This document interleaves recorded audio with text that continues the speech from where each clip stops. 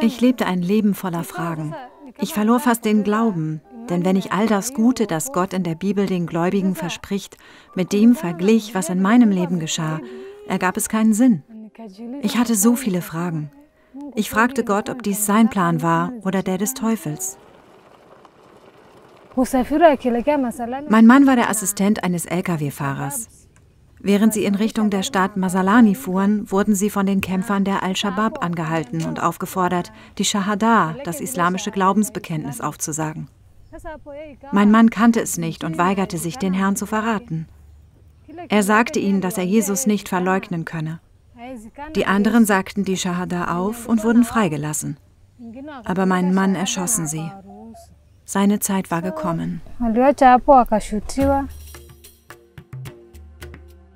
Peninas Ehemann wurde Opfer der islamisch-extremistischen Miliz Al-Shabaab, den Hauptverantwortlichen der Christenverfolgung in Kenia.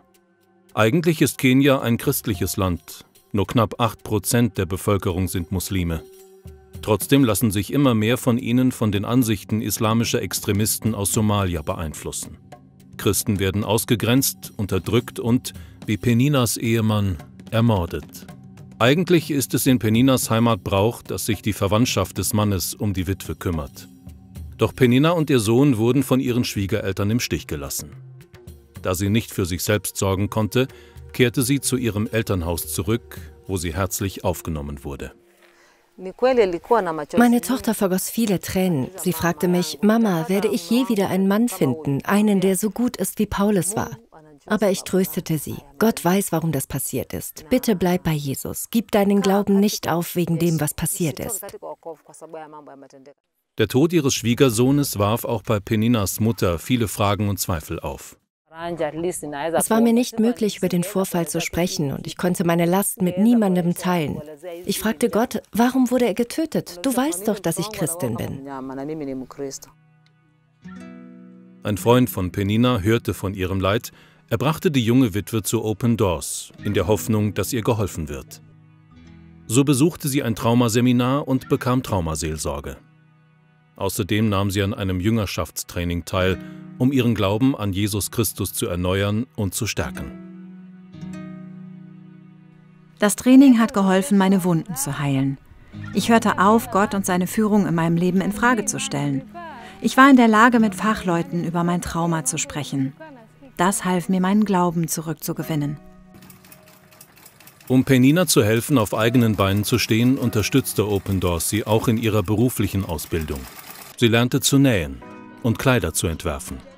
Doch kurz vor Beendigung des Trainings mussten, wegen der Covid-19-Pandemie, alle Schulen schließen und den Unterricht abbrechen. Für Penina war das ein harter Rückschlag. Sie stand kurz vor dem Erhalt ihres Zertifikats und wollte ihr eigenes Geschäft eröffnen. Glücklicherweise konnte die Witwe zurück zu ihren Eltern, aber das Leben dort ist nicht einfach. Ihr Vater ist Tagelöhner und findet zurzeit kaum Arbeit. Der Familie mangelt es an Ressourcen.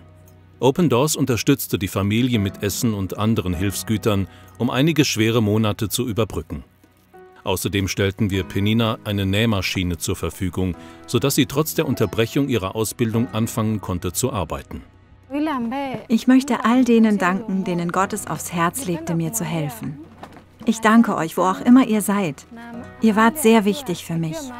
Ihr habt eine große Rolle in meinem Leben gespielt. In den Geschenken von unbekannten Menschen wie euch habe ich Gott erkannt. Nach dem Tod meines Schwiegersohnes fanden wir Beistand in Freunden wie euch, was uns vieles erleichterte. Wir wurden nicht wegen unserer Armut verspottet. Gott hat euch dazu bewegt, uns zu helfen. Er ist uns treu gewesen.